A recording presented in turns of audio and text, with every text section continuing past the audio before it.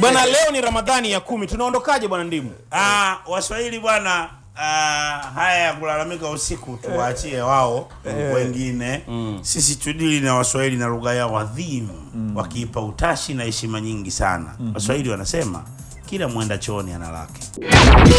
Good morning. Habari za asubuhi.